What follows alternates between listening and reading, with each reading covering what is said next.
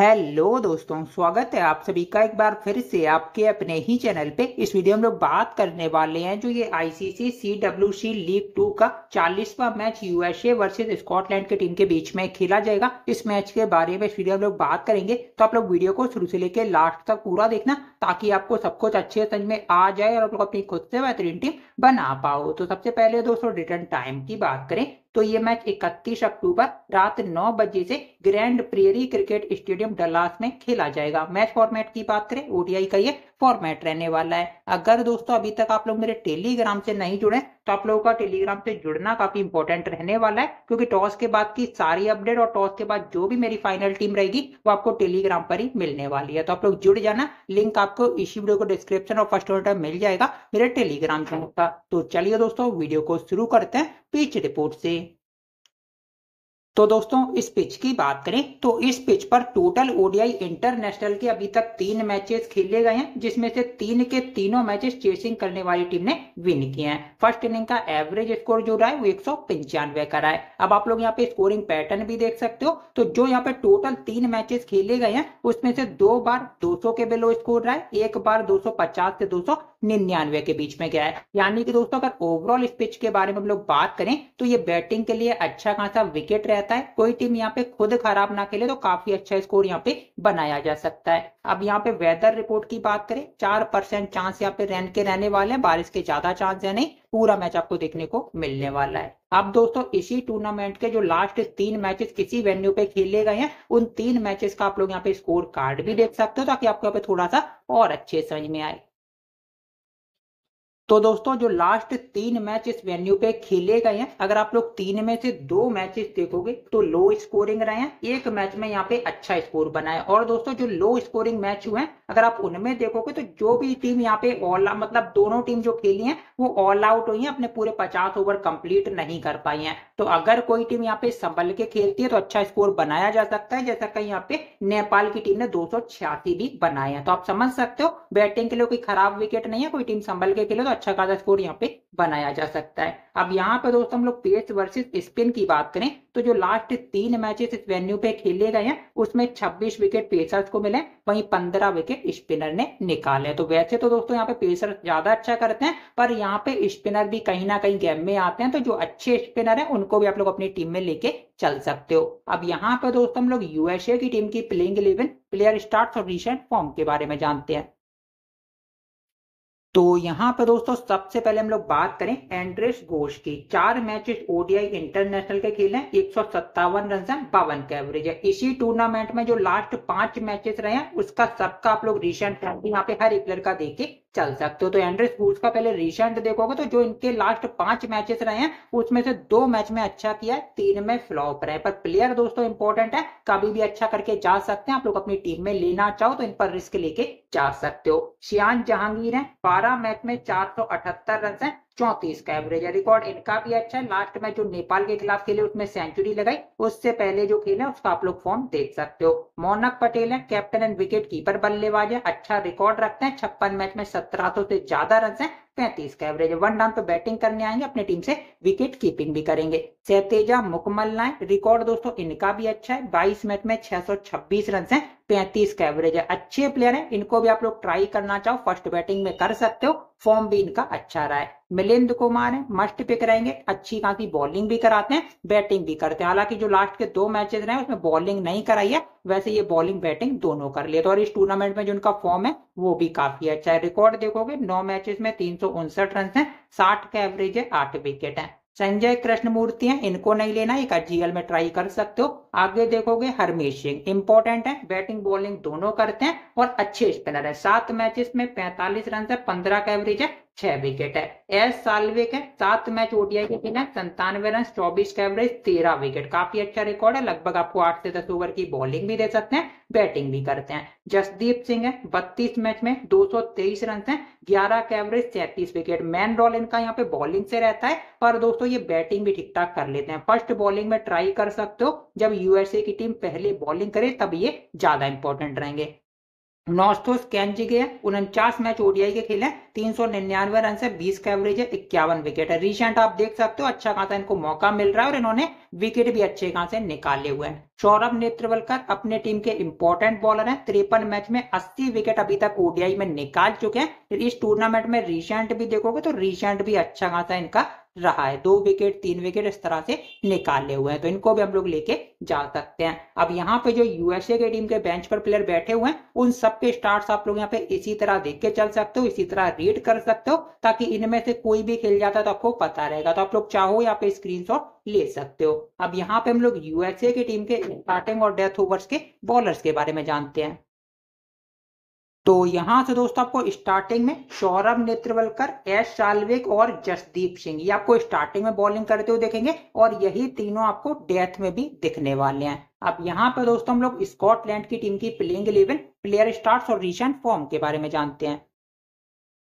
तो यहाँ से दोस्तों आपको यहाँ से अगर आप सबसे पहले बात करें, चार्ली टीयर की, सात मैचेस खेले, एक सौ छियालीस रन है सैतालीस का एवरेज है। रिसेंट देखोगे, ज़ीरो, तैतालीस, सोलह, चार, बारह, इस तरह का इनका रिसेंट रहा है। तो इनको दोस्तों आप लोग जीएल में ट्राई कर सकते हो। स्मॉल लीग में लेना इनको थोड़ा सा रिस्की रहेगा क्योंकि उतने कंसिस्टेंट खिलाड़ी नहीं है। यानी कि अपना विकेट जल्दी फेंक देते हैं, इस वजह से इनको स्मॉल लीग में लेना रिस्की है। आप लोग जीएल में लेके जा सकते हो। एंड्रयू उम्मीद है, तीन मैच में 120 रन है साठ का एवरेज है रिसेंट आप देख सकते हो, इनका दोस्तों जो इनका अंठानवे रन का स्कोर जो इसी टूर्नामेंट में आया है, वो इसी टीम के खिलाफ आया यानी कि यूएसए की टीम के खिलाफ। तो इनको आप लोग इस मैच में ट्राई कर सकते हो। लास्ट मैच में अच्छा किया था तो हो सकता है फिर से अच्छा। कर जाएँ। ब्रेंडन मैकमूलन है इंपॉर्टेंट रहेंगे। लगभग आठ से दस ओवर की बॉलिंग भी दे रहे हैं प्लस बैटिंग भी काफ़ी अच्छी करते हैं। तो ये कैप्टनसी के बेस्ट ऑप्शन रहने वाले हैं। रिची बेरिंगटन है, अपने टीम के कैप्टन है। इंपॉर्टेंट खिलाड़ी है रिकॉर्ड भी अच्छा है। और इनका दोस्तों, जो यूएसए की टीम के खिलाफ रिकॉर्ड है, वो भी अच्छा है। वो भी मैं आपको आगे दिखाऊँगा। बाकी आप रिसेंट यहाँ पे देख सकते हो। माइकल जॉन्स आपके जीएल के पिक है। मैथ्यू क्रॉस को भी आप लोग एक जीएल में ट्राई कर सकते हो। बैटिंग नीचे आती है, पर अपने टीम से विकेट कीपिंग भी करेंगे। और बैटिंग आ गई तो बैटिंग से भी आपको अच्छा करके दे सकते हैं। आगे देखोगे माइकल लीस्क हैं। इनको दोस्तों, इस टूर्नामेंट में अगर आप देखोगे तो लास्ट के दो तीन मैचेस से उतना ज़्यादा मौका मिला नहीं है। वैसे प्लेयर ये भी इंपॉर्टेंट है बैटिंग बॉलिंग अगर इनको ठीक से दी जाए तो ये अच्छा करके जा सकते हैं, अच्छे प्लेयर हैं। मार्क वॉट हैं, अपने टीम के इंपॉर्टेंट स्पिनर हैं अच्छा रिकॉर्ड रखते हैं। अड़सठ मैच में पाँच रन है, उन्नीस का एवरेज है, छियानवे विकेट है। जैक जर्विस आपके जीएल के पिक रहेंगे ब्राड व्हील दोस्तों, फ़र्स्ट बॉलिंग में इंपॉर्टेंट है, क्योंकि अपने टीम से डेथ में बॉलिंग कराते हैं और अच्छे बॉलर हैं। तो इनको हम लोग फ़र्स्ट बॉलिंग में ट्रंप पिक के तौर पे ट्राई कर सकते हैं। ब्रेडली क्वेरी है? छह मैच में बारह विकेट है। रिसेंट आप लोग यहाँ पे देख सकते हो। अब यहाँ पे जो स्कॉटलैंड की टीम के बेंच पर प्लेयर बैठे हुए हैं, उन सबके भी आप लोग यहाँ पे स्टार्ट देख के चल सकते हो, ताकि इनमें से भी कोई भी खेलता है तो आपको पता रहेगा। अब यहाँ पे दोस्तों हम लोग स्कॉटलैंड की टीम के स्टार्टिंग और डेथ ओवर्स के बॉलर्स के बारे में जानते हैं। तो यहाँ से दोस्तों आपको स्टार्टिंग में ब्रेडली क्वेरी और यहाँ पे ब्रेंडन मैकमूलन, ये आपको स्टार्टिंग में बॉलिंग करते हो देखेंगे। डेथ ओवर्स में आपको क्रिश शूल क्रिश शूल दोस्तों लास्ट मैच नहीं खेले थे। अगर खेलते तो ये भी डेथ में आते हैं। अब अगर ये नहीं खेलते तो फिर आपको यहाँ पे ब्रेडली क्वेरी, ब्राड व्हील और इनके साथ में मार्क वॉट देख सकते हैं। अब यहाँ पे दोस्तों हम लोग पॉइंट्स टेबल भी देख लेते हैं, यानी कि इस टूर्नामेंट में दोनों टीम्स की कैसी परफॉर्मेंस रही है तो वो चीज़ भी आप यहाँ पे देख सकते हो।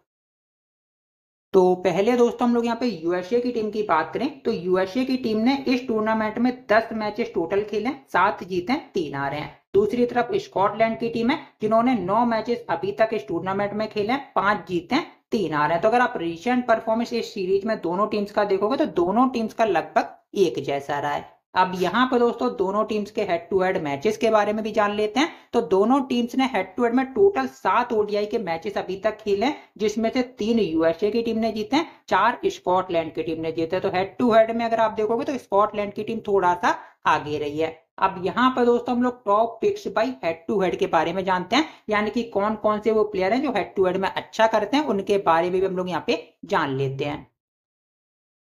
तो यहाँ पर दोस्तों सबसे पहले आप देखोगे मोनक पटेल। सात मैचेस हेड टू हेड में खेले 216 रन है, इकतीस का एवरेज है।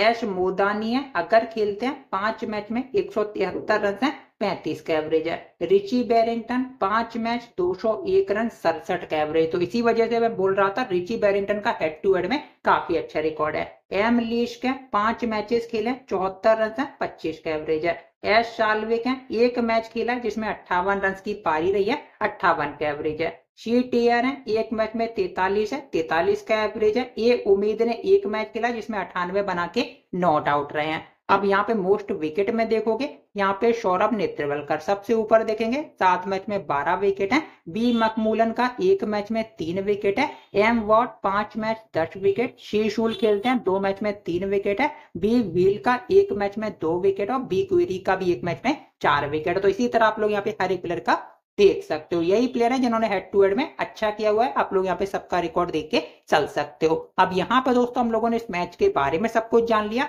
हर एक प्लेयर के बारे में जान लिया। अब हम लोग अपनी टीम देख लेते हैं जो फ़िलहाल मैंने इस मैच की आप लोग बनाई हुई है, पर फाइनल टीम के लिए टेलीग्राम से आपको ज़रूर जुड़ना है, क्योंकि टॉस के बाद की सारी अपडेट और टॉस के बाद जो भी मेरी फाइनल टीम रहेगी, वो आपको टेलीग्राम पर ही मिलेगी। तो जुड़ जाना लिंक आपको इसी वीडियो को डिस्क्रिप्शन और फ़र्स्ट में मिल जाएगा मेरे टेलीग्राम चैनल का। तो चलिए दोस्तों, अब हम लोग अपनी टीम भी देख लेते हैं।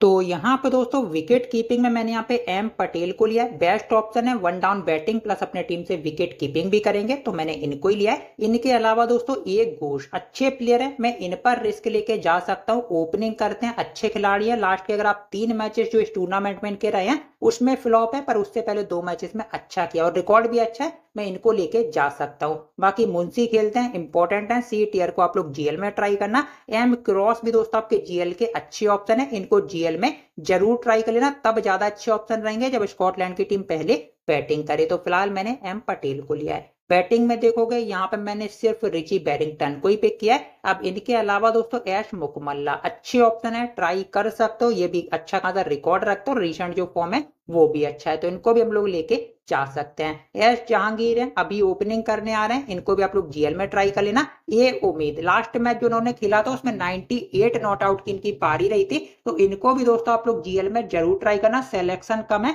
पर लास्ट में जब इन्होंने हेड टू हेड मैच खेला था, उसमें काफ़ी अच्छा किया था तो इनको आप लोग जीएल में ट्राई कर सकते हो। एम जॉन्स इनको भी जीएल में लेके जाना कृष्ण मूर्ति यहाँ पे उतने इंपॉर्टेंट रहेंगे नहीं। तो फ़िलहाल मैंने बैरिंगटॉन को ही लिया है। ऑलराउंडर सेक्शन में देखोगे, यहाँ पे मैंने बी मकमूलन को लिया एम कुमार है एश वैन साल्विक है। इनके अलावा एच सिंह और नीचे मैंने एम लीस को भी यहाँ पे पिक किया है। अब इनके अलावा देखोगे जे जर्विस ये भी दोस्तों जीएल के पिक आपके रहेंगे। बैटिंग बॉलिंग दोनों ठीक ठाक कर लेता तो इनको आप लोग जीएल में ट्राई कर सकते हो। बाकी नीचे अभी कोई नहीं खेल रहा है। बॉलिंग में देखोगे, मैंने यहाँ पे एन कैंजिगे को लिया जिनका इस टूर्नामेंट में काफ़ी अच्छा फॉर्म रहा है।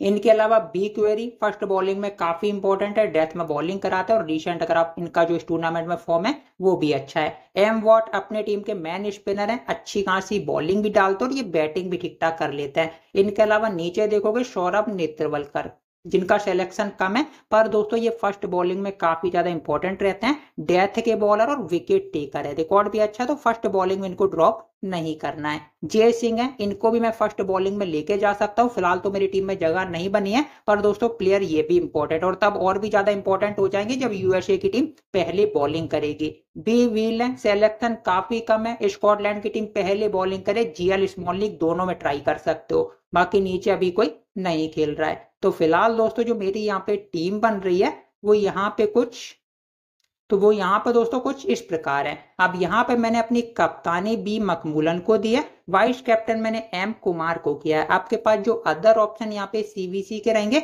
वो यहाँ पे दोस्तों एशवैन सालवे के रहेंगे। इनके अलावा देखोगे रिची बैरिंगटन भी इस मैच में अच्छी ऑप्शन है। और यहाँ पे अगर आप बॉलिंग में देख रहे हो तो बी क्वेरी को भी काफ़ी ज़्यादा लोग करके आएँगे। फ़र्स्ट बॉलिंग में आप लोग इनको भी सीबीसी ट्राई कर सकते हो। तो फ़िलहाल मेरी ये टीम है। अब अगर इस टीम में कुछ भी चेंजेस होता है तो आफ्टर टॉस आपको पता लग जाएगा तो उसके लिए आप लोग टेलीग्राम से ज़रूर जुड़ जाना। लिंक आपको इसी वीडियो को डिस्क्रिप्शन और फ़र्स्ट कमेंट में मिल जाएगा मेरे टेलीग्राम चैनल का। तो चलिए दोस्तों, मिलते हैं फिर एक नई वीडियो के साथ। पूरा वीडियो वॉच करने के लिए। थैंक यू सो मच दोस्तों।